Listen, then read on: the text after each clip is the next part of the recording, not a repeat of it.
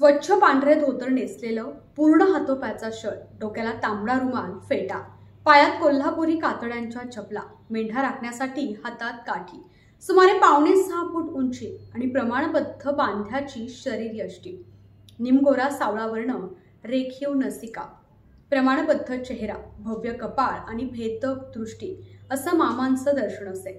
पादस्पर्श दर्शन कोणीही घेत नसत दुरूनच दर्शन घेईल. नेहमीच्या सवासातील लोकही जवळ जाण्याचं धाडस करत नसत.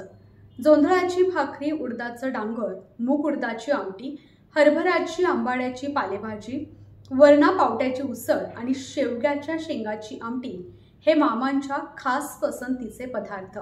योग्याप्रमाणे ते अल्पहारी होते. संत बाळूमामा कानडी आणि मराठी भाषा उत्तम बोलत. भक्तांशी ते त्यांच्या बोली भाषेत संवाद करत असत. शिकलेल्या शहरी माणसाशी शहरी भाषेत बोलत. सामान्य धनगराप्रमाणे त्या व्यवसायास आवश्यक ती सर्व कामे ते करत असत. असामान्य विभूती असूनही मामा अगदी साध्या राहणीचे होते. फक्त द्वादशीला स्नान करून उपवास सोडत त्यांच्या कपड्यांना कधी घामाची दुर्गंधी येत नसे. कपडे स्वच्छ धुतल्यासारखे असत त्यांच्या चपलांना ऐन पावसाळ्यात सुद्धा चिखल लागत नसे. त्यांना भक्तिप्रेमानं चाललेलं भजन फार आवडे. नाटकीपणाची त्यांना चीड असे. ढोंगीपणा अनाचारी वृत्ती आणि अंधश्रद्धा यांना त्यांचा प्रखर विरोध असे. बाळूमामा क्षणात समोरील माणसाचं अंतकरण जाणत त्यांना सर्व योगसिद्धी अवगत होत्या. त्यांची वाचा सिद्धी होती. ते त्रिकाल ज्ञानी होते. त्यांना धन मान आणि संसार सुखे माती समान वाटत. त्यानंतर मामांनी संसाराचा विचारही केला नाही. जगाचा संसार हाच आपला मानला.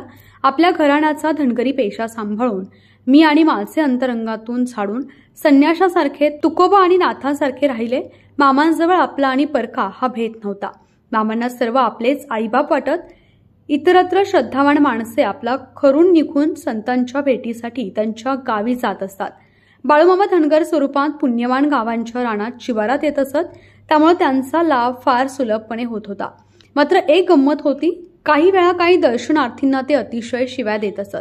माणसांची श्रद्धा तपासणं अभिमान अहंकार झाडावयास लावणं आणि त्यांची संकटे नष्ट करणं असा तिहेरी हेतू त्या शिव्या देण्यामागे असे.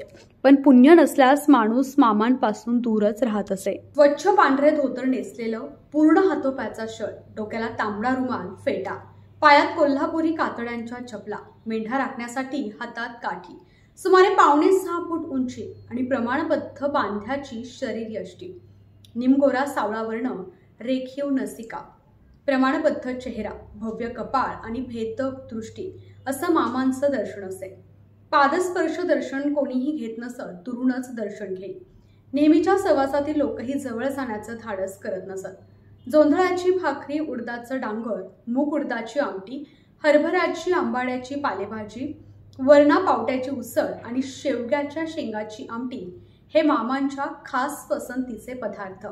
योग्य प्रमाण ते अल्पहारी होते. संत बाळूमामा कानडी आणि मराठी भाषा उत्तम बोलत. भक्तांशी ते त्यांच्या बोली भाषेत संवाद करत असत. शिकलेल्या शहरी माणसाशी शहरी भाषेत बोलत. सामान्य धनगराप्रमाणे त्या व्यवसायास आवश्यक ती सर्व कामे ते करत असत. असामान्य विभूती असूनही मामा अगदी साध्या राहणीचे होते. फक्त द्वादशीला स्नान करून उपवास सोडत त्यांच्या कपड्यांना कधी घामाची दुर्गंधी येत नसे. कपडे स्वच्छ धुतल्यासारखे असत त्यांच्या चपलांना ऐन पावसाळ्यात सुद्धा चिखल लागत नसे. त्यांना भक्तिप्रेमानं चाललेलं भजन फार आवडे. नाटकीपणाची त्यांना चीड असे. ढोंगीपणा अनाचारी वृत्ती आणि अंधश्रद्धा यांना त्यांचा प्रखर विरोध असे. बाळूमामा क्षणात समोरील माणसाचं अंतकरण जाणत त्यांना सर्व योगसिद्धी अवगत होत्या. त्यांची वाचा सिद्धी होती. ते त्रिकाल ज्ञानी होते. त्यांना धन मान आणि संसार सुखे माती समान वाटत. त्यानंतर मामांनी संसाराचा विचारही केला नाही. जगाचा संसार हाच आपला मानला. आपल्या घराण्याचा धनगरी पेशा सांभाळून मी आणि माझे अंतरंगातून झाडून संन्याशासारखे तुकोबा आणि नाथासारखे राहिले. मामांजवळ आपला आणि परका हा भेद नव्हता. मामांना सर्व आपलेच आईबाप वाटत. इतरत्र श्रद्धावान माणसे आपला खरून निघून संतांच्या भेटीसाठी त्यांच्या गावी जात असतात. बाळूमामा धनगर स्वरूपात पुण्यवान गावांच्या रानात शिवारात येत असत.